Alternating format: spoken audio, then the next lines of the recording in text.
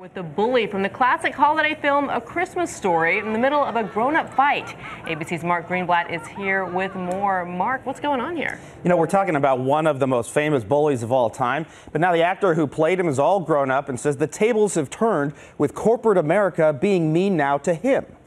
What, are you gonna cry now? You probably know Zack Ward as one of the most famous and feared bullies of all time, Scut Farkus the yellow eyed nemesis to Ralphie in A Christmas Story.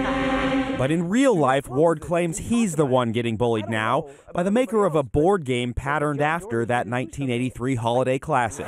He's suing the National Entertainment Collectibles Association for fraud, claiming the company used his image without permission and without paying him.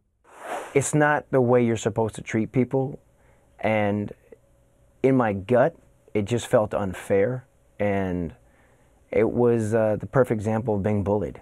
Ward says he did give permission for a 7 inch action figure like this to be made in the likeness of Farkus, a role for which he took home just $5,000.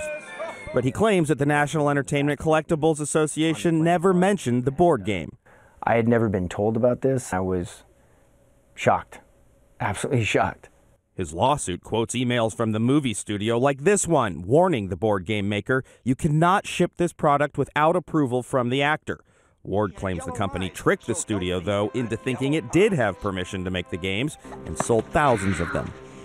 They expected me to roll over, suck my thumb, and go home and complain and whine about it, but really do nothing. And I just couldn't do that. But the manufacturer's lawyer tells GMA we had his consent. This has been a manufactured story from the beginning, but does concede they owe Ward royalties. Meaning perhaps the most famous bully ever learned from Ralphie in the movie. But sometimes it does pay to fight back. And the attorney for that board game maker tells GMA that he believes Zack Ward simply a washed up actor whose career peaked at 13 years old and claims his client did get permission to get that image in that game. But overnight, we're also told that they settled their lawsuit with the attorney saying that he, of course, is owed royalties. Oh. It's interesting to see him all grown up now. I was he about doesn't, to say that. doesn't look like a bully no. anymore. But he's still got that red hair. He does yeah, have the he red does hair. have that red hair, Mark. Right. Thanks.